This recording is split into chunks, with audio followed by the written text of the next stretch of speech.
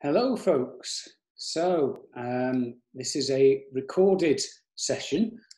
Uh, we're going to be talking today with Sid Cooper, frontman of the band LOA State, who I'm a big fan of. Bit of a trigger warning there may be some language.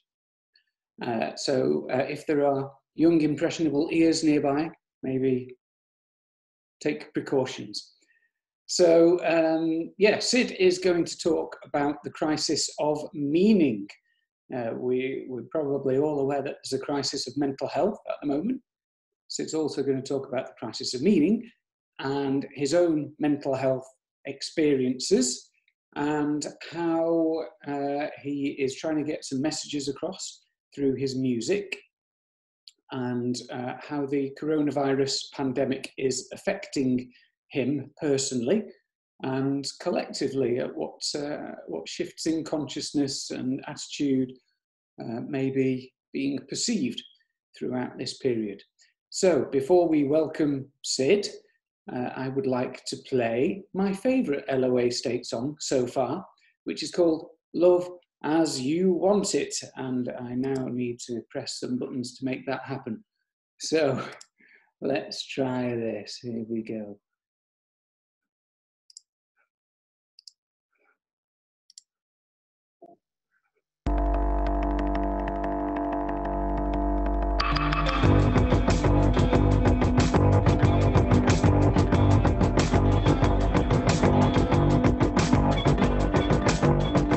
Gonna be hard to come back from here. The fear grips me. Tongue tied alive, the words fill up in me. She can't survive without the eyes of everyone within the room looking. It be that signal fixed on lip syncing. Puts herself in and out to sharp mingling. Now I'm just stood there taking it in. I so this is what I got. Love as you want.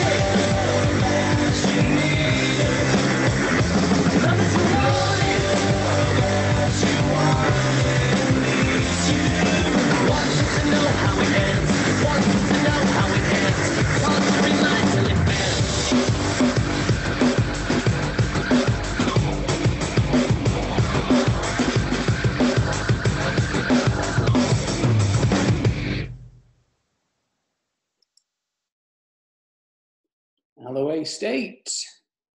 So hopefully Sid will be along very shortly. I'll pause the recording for a moment and then magically he should appear.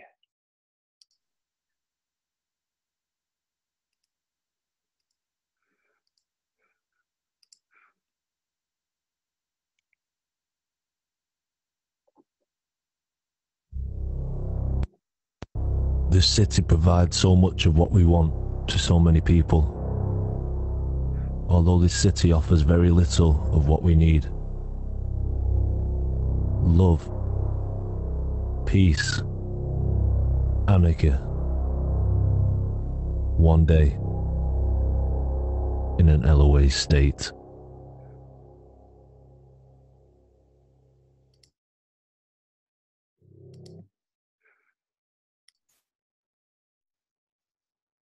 So There you here go. we Got the notification. It is here. Welcome, Sid. Thanks for having me, Paul. I really appreciate this, mate. So it's going to be good. Likewise, yeah. Thank you very much for coming on. And uh, it's was triggered really by a video that you posted on the LOA State site. Was it yesterday or the day before? A couple of days ago. I don't, I don't know. I keep saying I don't, I don't know what I'm losing track of time here. Um, and you don't know what day of the week it is, dear. And it's it's it's a strange time to be alive at the minute. Obviously, it's it's it's, it's an awful situation, but I think uh, me and a lot of people just try to take as much positive. Sorry about that. There's a tractor right next to me. um, just take as much positivity as you can take, as I suppose, um, going forward. I'll just move out the way one second. Okay. Yeah, totally agree, Sid. It's uh, it is a very tricky, challenging situation, and I, I have no day, no clue what day. But it is also an opportunity for uh, for change and for awakening, changes in consciousness, changes in personal how we approach the world, uh, and that's kind of some of the, the drift of what you were saying in, in your very personal and revealing video that you posted the other day. Um, so you were talking about the crisis of meaning and also talking about your own mental health journey and how we can use this situation to um, change, reevaluate how we are. So you want to talk a little bit about, um, of introduce yourself first of all, what, what you do and what's got you to where you are today, Sid? Yeah, of course. Um, so my name's Sid, Sid Cooper. Um, I'm, I consider myself a musician. I'm a musician that's kind of always been a musician, but by standards of society, where it's like, if it's measured on fame, then I've kind of been an unsuccessful one. But in my own head now, coming to evaluate who, I am as a person and stuff, I don't think I've been unsuccess, unsuccessful. I think I've I've done so much. I've failed so many times. I think failure is a big sign of success because it means you're putting yourself out there, um, and that's really important to me. Um, I've over the past two years after the last the last band I was in, that kind of ended, I I hit a bit of a, a bad bad time really. Well, I didn't really tell anyone, uh, but I really struggled with that. And like I said, I mentioned in that video, kind of the the world opened up in front of me, and I was like hit by this massive just abyss. It's like I was stood on the edge of something where I could have easily fell in. But I decided that I wasn't going to do that. I'm going to decide that with the strength that I'd been given through all these failures and that I was going to turn it into something positive. And I, I wanted to educate myself because I realised I'd left school and it was a bad experience for learning me at school. There was there was one year when I got to be creative, but as a creative person in school, you, you kind of taught to um, stay within the box. Whereas I like to think outside the box um, because I think that's where you find magic. Um, so yeah, the past two years just been a, a massive learning curve, and I'm just trying to build myself as a person. Um, I just find a bit of respect for myself that I think I deserve, really, because we're all in this together, and it's a struggle. Life is a struggle. So yeah, I just I've turned it around now, and rather than playing the victim card and stuff, I'm I'm wanting to turn that into just helping others, really. So that's kind of where I'm at at the minute. Great. So it's a great turnaround. And yeah, it's interesting you use the word failure. Um, Yeah. That's a kind of, it's a very um, spiky word, isn't it? And, It is a spiky word. it's, um, it's something we, we can label ourselves with, or it's something that society can label us with. And as a musician, it's a really difficult business to to make a living out of, as as I'm sure you know. Um, so yeah, by commercial terms, you might be deemed by others or by yourself to be a failure, but it's it's an act of creativity and it's an act of personal growth and it's it's something that gives a lot of pleasure to a lot of people you know and i've been to several of your gigs in your previous bands and also your current band and from all of the people that are there none of them would deem you a failure so It's nice. It's nice to hear. It's nice to hear. Thank you. Thank you. yeah so i think that's that's something about that anyone in whatever walk of life they're in they, they can find themselves at the edge of an abyss and, and label themselves as a failure because they haven't reached some expectations from their parents or from society or, or their own pressure that they put on themselves. So how, how do you see that kind of ties in with the crisis of meaning that you were talking about? Well, of like this, th- there's a mental health crisis, and it's obvious um, because everyone's talking about it.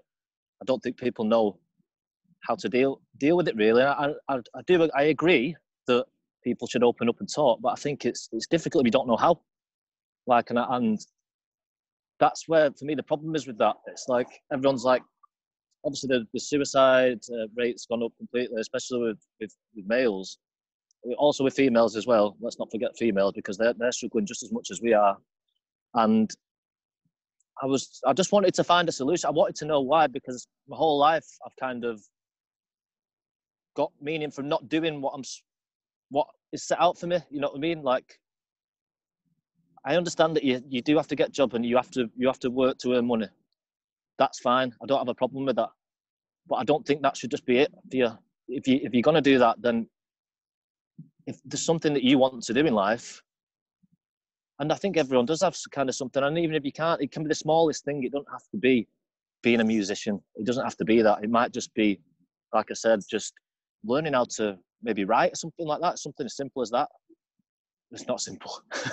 That's not simple at all. But I, and I thought I was just thinking, what what's made what's given me positivity in life, and it was always been finding meaning in things and and putting myself out there and kind of what I got from that.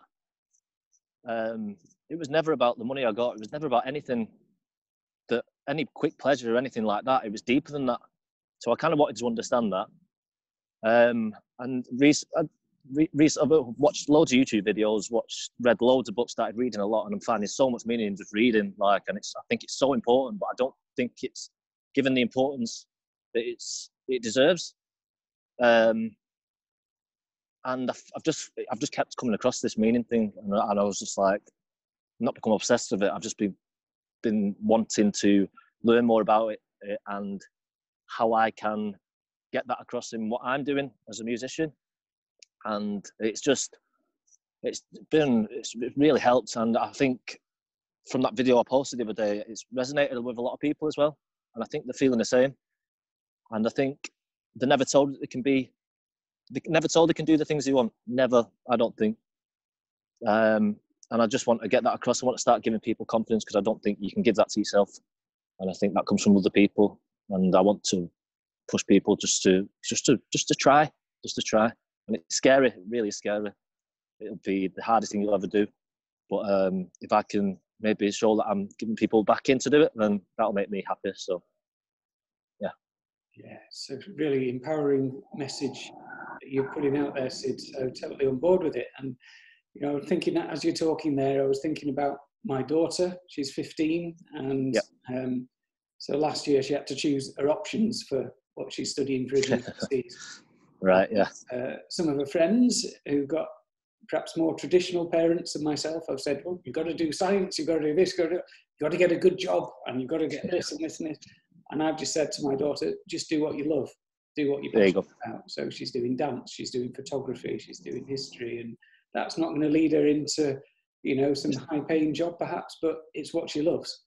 And No man, uh, that's that's it for me. That is it. Like uh, I'm obviously I'm getting like tingles. You, you saying that and stuff. Um, that's that's exactly the message we're trying to get across. That is it. Do what you love. Yeah. Why not? Why not? yeah, And I think this situation now is kind of like I said, put put that into perspective now, where you've had to kind of retract a little bit. You're taken away from the, the craziness and of of real real life. Is it's not real real life, is it? It's just structured structured life around you It's kind of having to being able to sit back. I know the times are so worrying, but being able to sit back and kind of evaluate your life. I think you're seeing people just starting to do that and starting to do things that they like and talk about things that they like, and it's inspiring. It's inspiring for me anyway, and it's making. That's why I've done it because people have been doing it, and it's inspired me to do it now. I just think, well, why not just get get my message across, and hopefully it'll help. Even if it's just one person, then that'd be great. Yeah. Yeah, kind of what I'm doing with the Thrive Hive. I just think if if one Exactly. is inspired, or one person, um, you know, I, I talked the other week about my uh, one of my oldest friends from school lost his niece recently um, Okay. because she was um, she was in isolation because of the crisis, the, the, the pandemic, and she couldn't cope with the isolation, and she didn't talk about it. I presume she had no Right. Okay. Oh, right. Okay. if if doing what you're doing and doing what I'm doing just saves one person or inspires one person to, to speak out about the mental health issues or to follow uh, what they're passionate about, then it's job done, isn't it? It is, mate, and yes, that's it's horrible. I've had um, a couple of friends who have lost people for, from the the virus. Um, spoke to one. One's a, a friend I haven't spoke to in a long time. Um, I left her a message, and then I spoke to another friend yesterday who's had a, a friend who just passed recently, and it's just he, he he was just saying he doesn't know how to handle it. He doesn't know what he doesn't know. This is how do you handle this? Two weeks ago he was talking to him now he's now he's not there, and I just try to be there for him like and stuff. So yeah, it's crazy.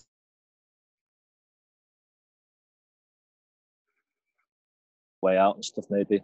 I don't know. I don't know if it's if it's helping, but it feels right. So that's that's the main thing, isn't it? Yeah, yeah, absolutely. So how how are you coping with the pandemic and the lockdown? What's how's it changing your life?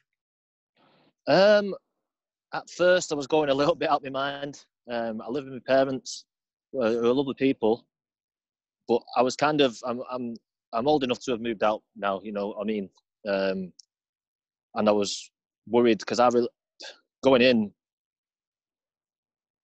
due to my for my own problems. Like I've grown apart from my parents a little bit, in the fact that and I, again, I said it in that video. You, you think your parents are superheroes, but then when you grow up, you start to see that they're human, just like you. And and I started judging them for the way they were and stuff. Not not to the face, really, just through behaviour and from myself, you know. And given having this time now, it's it's it's great. It's getting better, and um, we're talking, and we're starting to understand each other and stuff like that and so that's that's one positive.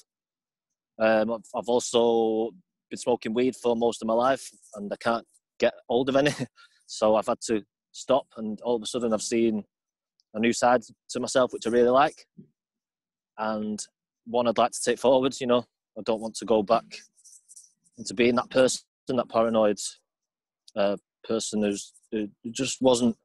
Well, to, to people in the outside world, I'm, I, I probably seemed fine and, and nice, but inside I wasn't. I wasn't. I, I was wasn't dealing with anger and, and resentment and stuff in in, in the right way. Um, and I bottled a lot up. And now just talking has re- has really helped and stuff like that. So that's kind of that's my journey with it. Um, obviously, it's really worrying and stuff. You just try to look after people around you and just be there for for your friends and your family, really. But yeah, how about you, Paul? Yeah, so uh, it's been a bit of a roller coaster for me, Sid, to be honest. So Okay. the first week I was fine, and a lot of my friends were feeling a lot of anxiety, and I was in this kind of zen-like space of "Don't worry, it'll all be cool." Yeah. And then I just had a a bit of a meltdown, to be honest. And you know what you were saying about having the rug pulled from underneath you and staring Yep. at the abyss. Yep. And, and that was that's where I was. I was incredibly anxious and fearful. Um, had a lot of self doubt, suicidal thoughts, all Yep. sorts of stuff. going. I thought my business is is going to tank, and I don't know what's going to happen. And there was various other stuff going on in my life at that time, and it just got too much for me. Really struggled. And then, yeah, kind of reached out to friends, got a lot of support, did a lot of self care stuff. Uh, went to see a business coach, started up the Thrive Hive, and within the space of two days, I was kind of riding the crest of a wave again and just feeling like you said purpose you know i just feel like Yeah. this, it's it's ignited something in me and i'm feeling more connected to myself i'm more connected to my network and friends and people that i don't even know i'm connecting to them Yeah, yeah, yeah. doing and uh, i'm actually really enjoying many aspects of of this new way of being Yeah, yeah, yeah. That's really that's positive. It's good. It's, it's just good that you can open up like that, Paul, and that's that's it's, it's that's uh, it's just helping me just listening to you. You know what I mean? It's like it's inspiring again. It's, it's just positive, and I'm sorry that you had to go through that and stuff. But I, I think they're calling that the funk at the minute. That uh, mood or something. I heard that phrase the other day. Phrase, word, whatever. The funk.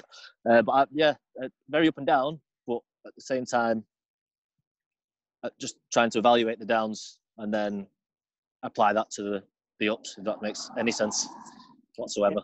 Yeah, no, absolutely. You know, and a lot of the, the reading that you've been doing and the, the TED Talks, YouTube videos, that type of stuff, that Yep. um, there's a lot of wisdom out there. And what resonated with me from your video is um, around going to, to the edge of the abyss, that darkness, and Mhm. from that comes light. And, and that reminded me of um, do you know anything about Jungian psychology and alchemy? I'm, it's straight from Jung. I'm, I'm obsessed. I'm Yeah. obsessed. Not obsessed, but I've just I, I it really um, resonates for me. Mm, The stuff he talks about and how deep he went into the psyche and stuff like that. And if you think that someone's gone that that deep, then they must have found like nuggets of gold along the way and stuff like that. So um, there's people to these are people to aspire to be like and stuff like that because they, they have answers, which is good, and they stop the confusion, which again is also positive. But yeah, sorry mm. if I interrupted you there. Yeah, no, no, no, it's all good. So, um, yeah, there's the kind of there's a four-stage process of alchemical transformation, which Jung talks about. You you can teach me more about him here because like I think I've only just dipped my toe into the water and, and obviously it's it's an ocean into and there's so much in each in each part that um I've I've only just touched it really, but I'm getting so much from it. So I'd love you to tell me about it. That'd Yeah. be great. Okay, okay. So it's um, you know the old alchemists in I suppose in the Middle Ages, um, people kind of characterize them as trying to turn lead into gold, but that was really a, a metaphorical process of human transformation. So what what Jung talked about was kind of um, transferring that into psychology and personal growth. Okay. And uh, he says there's four stages uh, with Latin names, I think. So the first one is Nigredo, which is the blackness, and that's Right. where everything is, it's the funk, basically, like you Yeah. um, where you've had the rug pulled, pulled from underneath you. You might be depressed, anxious, don't know where you are, lost your way, um, and it, it's like the veil has been removed from whatever illusions were were covering up your life and any masks that you might have been wearing. oh And God, we know about them. where we are as a society now with with this pandemic. It feels like we're, we're in a collective nigredo state where everything's kind of been the veil's been lifted. There's a big abyss there, and it's like, gosh, what do we do next?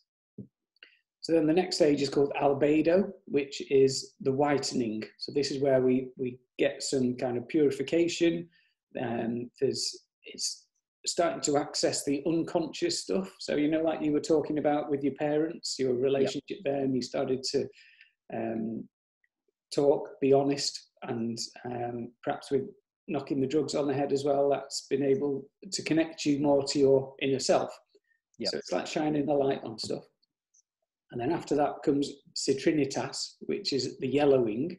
And this is um, where you get new growth, you get hope, you get new ways of being, you get enlightenment. And it's this kind of joyful place of, wow, doesn't have to be like it was before. It can be like this. It's amazing.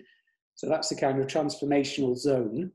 And then the final stage is called rubedo, which is, I think that's the, the red stage, um, where you've got to just integrate that into your life and make it a new way of being and make it a habit.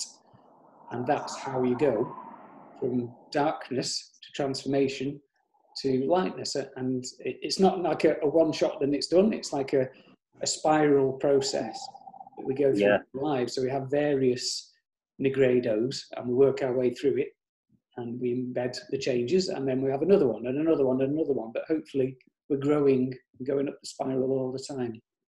It's like building a, puzzle within yourself, isn't it? Really, like in a way. Um, it's kind of like um, I've watched recently Plato's Allegory of the Cave, where he steps out, Yeah, I saw that.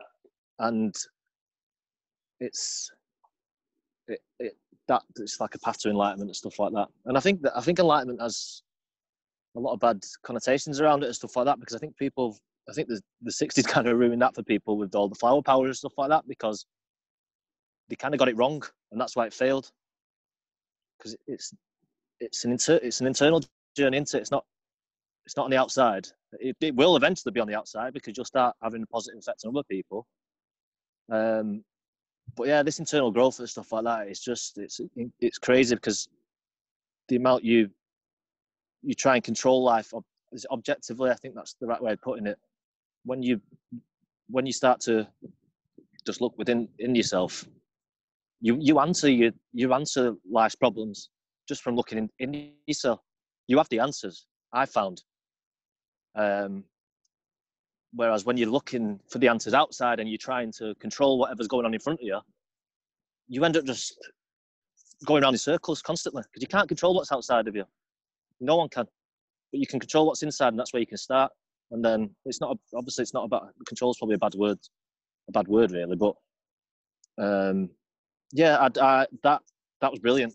Like that was brilliant because like you've just put into words where I see my journey in a way, or and the process we want to get across. And basically, it's that that what you said is in every film you'll ever watch. It's that's every film you'll ever watch goes through that that process, that Jungian process and stuff like that. Um, which is why these stories and films now, obviously, we've replaced religion with the Avengers and stuff like that.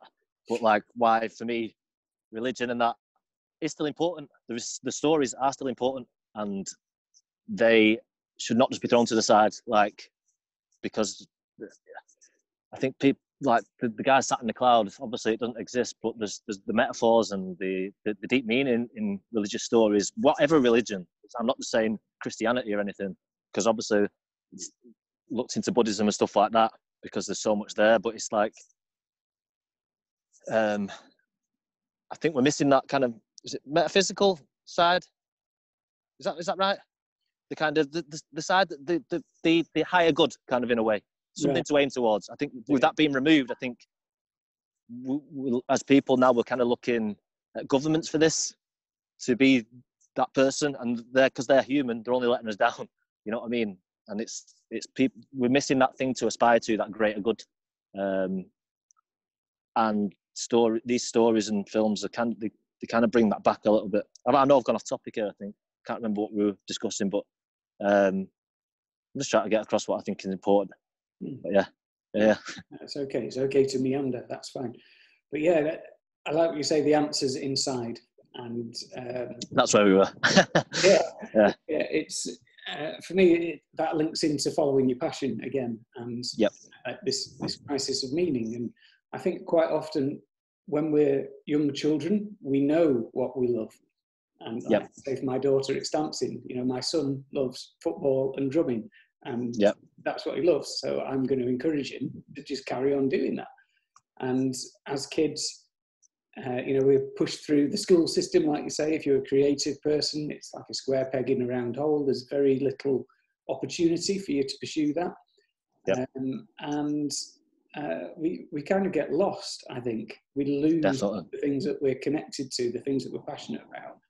And quite often, you know, we talk about midlife crisis and stuff like that. We probably Well, uh, uh, again, Paul, with that, you told to stop day, told to stop daydreaming all the time at school. Stop daydreaming. No, no, don't stop daydreaming. Keep daydreaming. You know, because you, that's that's your passion. That's what you look. You're thinking about the good things you want to do in life. That's why you're daydreaming, aren't you? So, look, sorry, mate, to interrupt again. No, no, no, it's all good. and that's where the creativity is, isn't it? Um, Yeah. I've been a teacher and I've I've been frustrated by the kids who are staring out the window and doodling. Yeah, Why are they not listening to me? It's because they're not interested in doing equations. they just want to be creative. So, um, yeah, you know, I think that the middle part of life quite often is about unpicking all of the stuff, all the masks we've put on, all the things that we've learned which actually aren't us, and getting back to that core, that thing that we're passionate about, the thing that is going to give our lives meaning. Definitely, completely agree. Completely agree. Yeah, and getting back to that inner child in a way, into it? Like, yeah, Yeah, that, it, it still speaks a lot of sense. yes. He or she, sorry. Yeah. Yeah, it's, it's, it's a big part of who we are. So, with LOA State, what kind of messages are you trying to get out to people? Because it isn't it isn't just fluff, is it? It's uh, there's, there's messages there. I know there's a lot of mystique around the band and stuff, but it's there's serious messages that you're trying to get across. Do you want to? Yeah, yeah. The mis- the mystique basically is me hiding. That's that's what that was. And I mean, the lad, we enjoyed we enjoyed it, and it people people um people liked it. People were always asking who, oh, who I wonder what they look like and stuff like that, which is nice. But that's just the story of my life. Like, what what do I look like? Like, what's underneath? Um, without sounding self obsessive or whatever. That's it's not meant to come across like that. But um, yeah, we have a message. We have a little philosophy that I built around something that I saw when I was younger, um, which is this love, peace, and anarchy thing that um, just presented itself to me for some reason. Um, synchronicity, I think, is that what Jung calls it? Um, when I was on holiday in, in Cornwall, and I've been on, I don't want to say obsessed because I don't want to be obsessed. It's not an obsession, it's just a curiosity.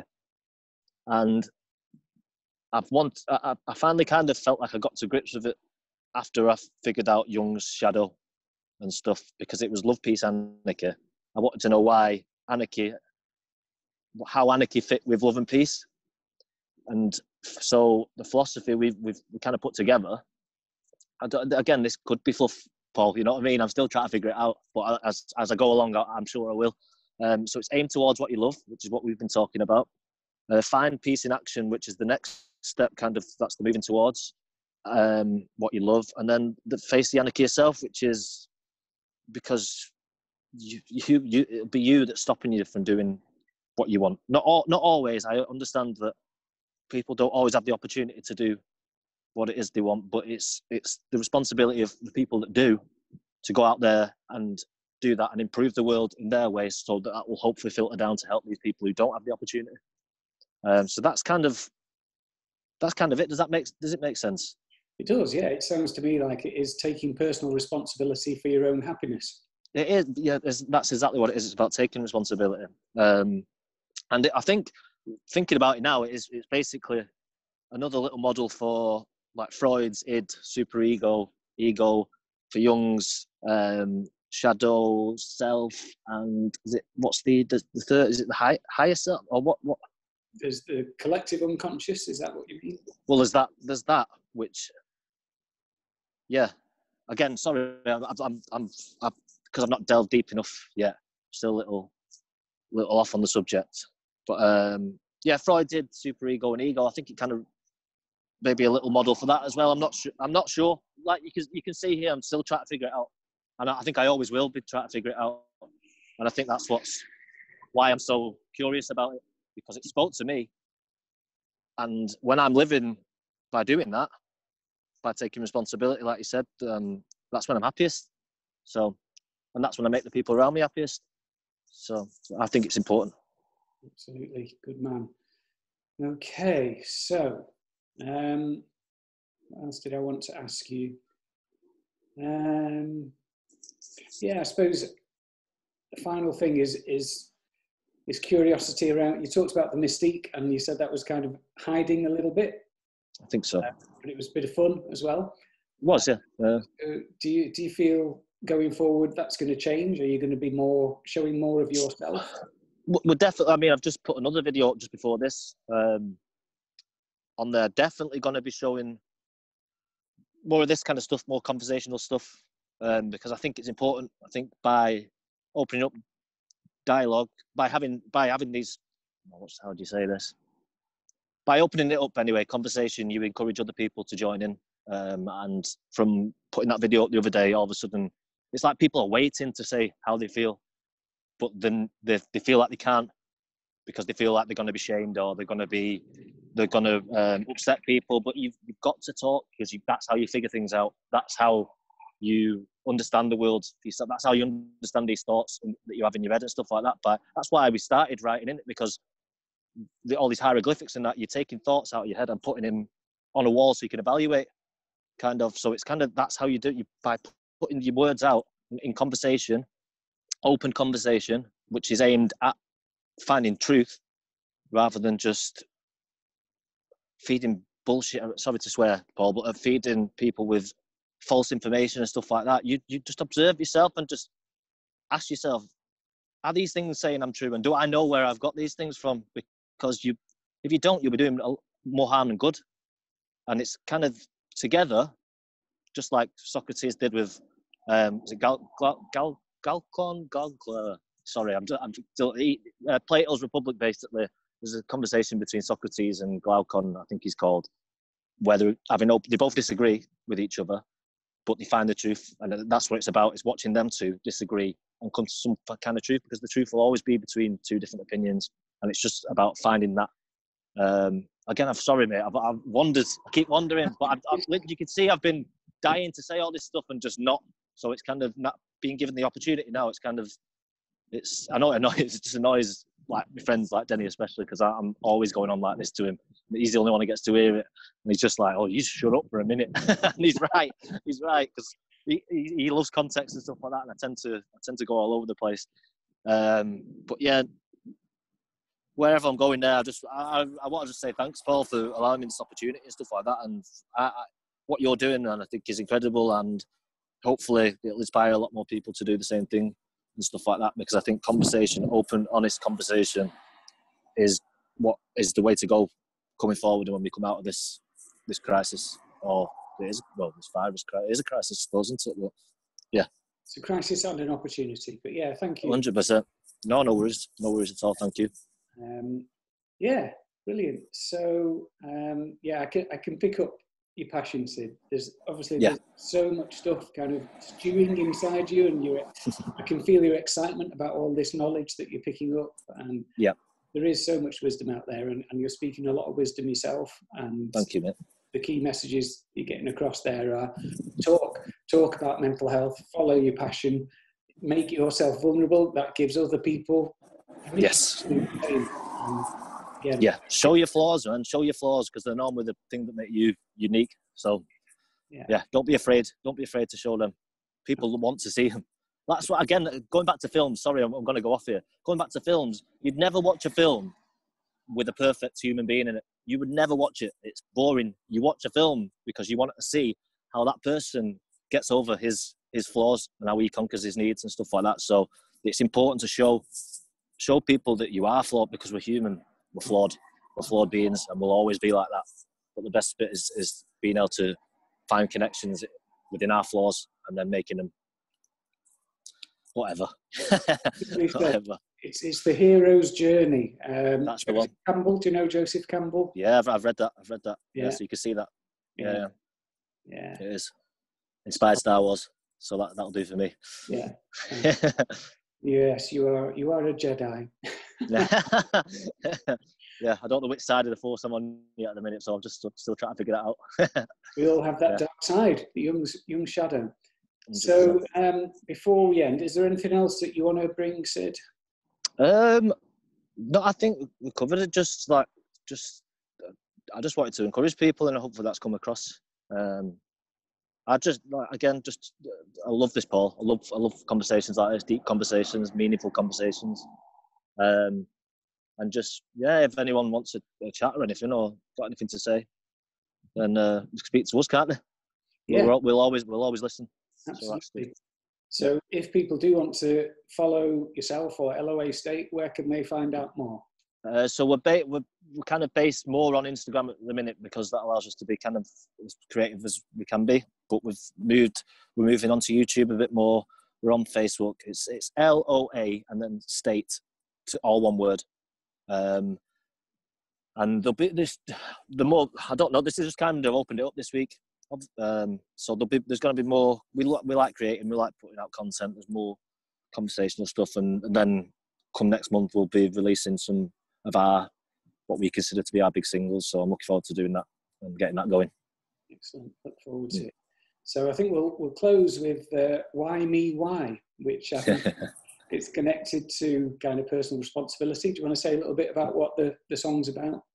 Yeah, I, wa- I was watching back the video that I said the other, that I put on the other day on Instagram TV because I, I like to look at myself and see what I'm saying if it's right and stuff and kind of and kind of tear myself apart a little bit and to put myself back together. And um, that song came on straight after, and then it was kind of like I always thought I was singing that song to a friend, but I can see now that I'm actually singing it to myself. Um, so yeah, it's about it's about me taking responsibility for my life and perfect song for what we're talking about. So thanks, Paul. Coming out of that victim stage into personal responsibility. Yeah, man, hundred percent. It'll it'll set you free. It'll set you free. Excellent. Well, Sid, thank you very much for your time and your honesty and your insight. It's been really interesting, and I'm really inspired by what you're doing. So, keep Same up. to you, Paul.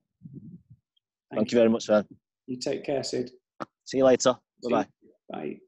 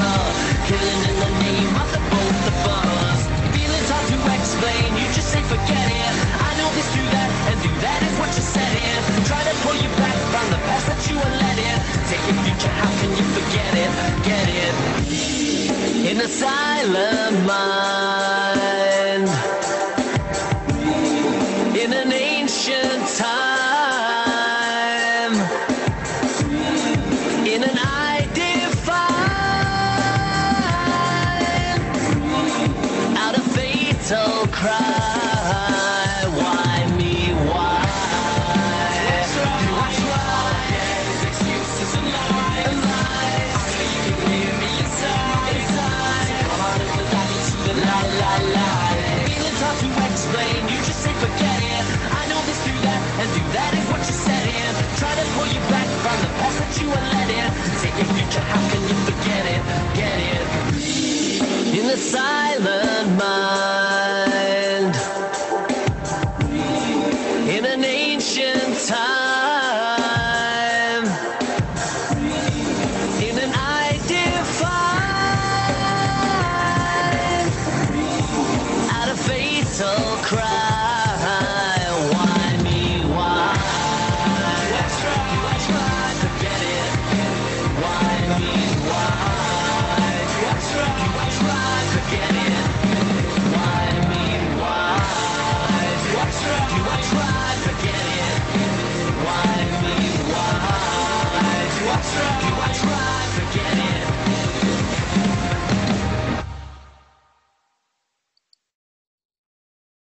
there we go. That was Sid Cooper from LOA State.